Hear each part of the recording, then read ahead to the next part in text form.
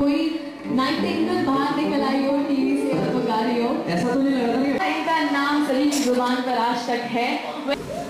देखिए ज़रिए मैसेजेस देने का कुछ भी हो इमोशन तो सच्चे होने चाहिए ना। आज प्रॉब्लम क्या हो गया? है शायद बहुत बड़ी बात कहने वाला हूँ मैं बट शायद ये चेंजिंग टाइम्स हैं। शायद uh, रियलिटी चेक मेरे लिए है मुझे नहीं मालूम। लेकिन जो चीज़ मैं देख रहा हूँ कि इमोशंस के प्रति लोग अपने लव के लिए फाइट नहीं करना चाहते हैं। विश्वास,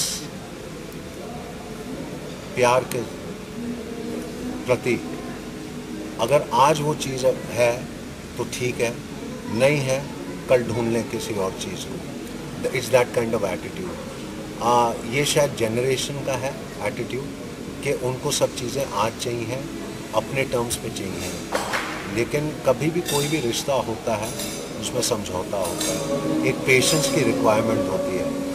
सो so, बट ये चीज़ें जो है ये एक्सपीरियंस ही सिखाएगा। देखिए एक फ़िल्म 2016 की एंड 6 अक्टूबर को है।